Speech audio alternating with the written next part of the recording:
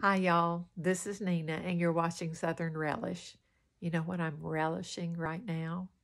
It's fall here in the South. Makes me so excited. I look forward to these 10 days every year.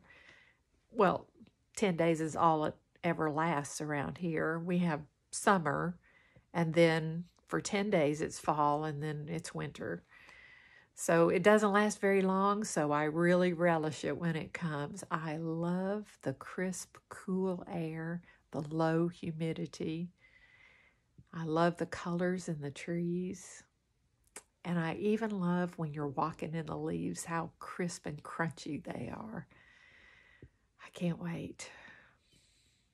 Oh, I know, I said we're in the middle of it, but it's been storming the last three days does that every year too, usually for about half of fall.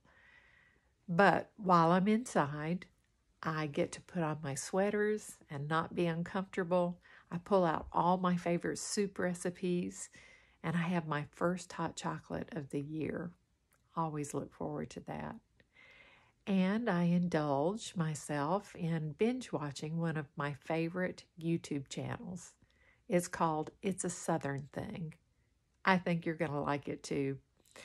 We Southerners love to laugh, and we usually laugh at ourselves. So check it out. There's a link below. A merry heart doeth good like a medicine. So be of good cheer. And happy fall, y'all.